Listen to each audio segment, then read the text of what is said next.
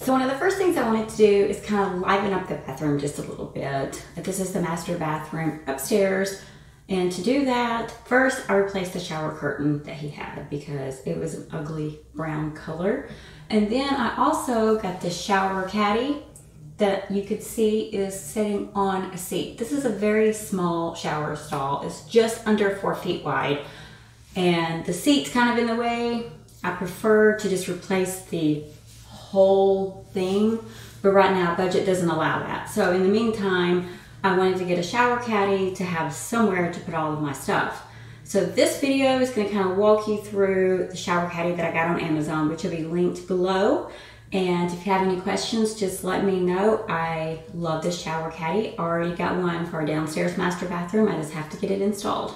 This is the AllZone shower caddy that I ordered on Amazon.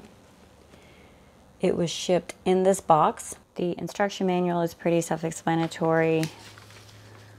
Um, as always with this kind of stuff, it's just picture diagrams of how to assemble it.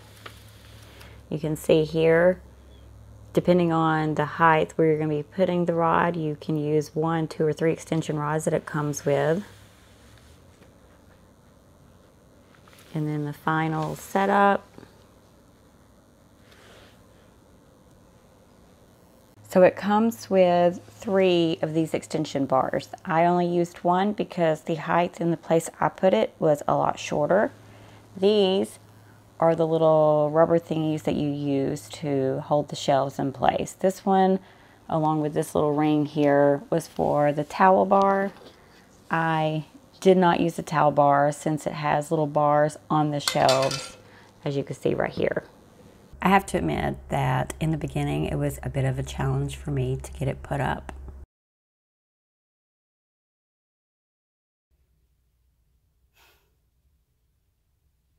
I originally started out using two of the extension rods in the pole, but that wound up being way too much for this short area, so I took one out.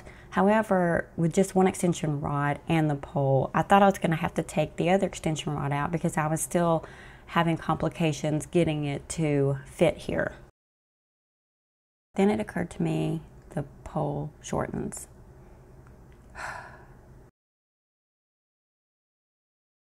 So if you decide to put this shower caddy on a corner seat in a shower stall, one extension rod with the pole lowered all the way is perfect.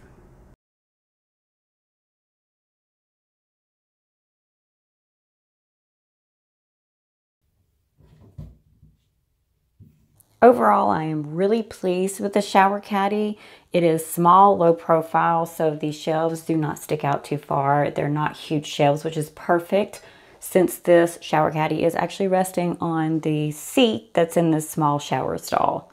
So it's kind of tidied everything up, put everything where I can easily assess it and get it off of the seat where I originally had everything. Here are the end caps that you can see that press against the ceiling. There's one down here. They're convenient. They don't screw on or anything. You just slide those into place and you're good to go. So hopefully this video will help somebody out there who is trying to debate whether or not to put a shower caddy on a seat, a corner seat in a small shower stall.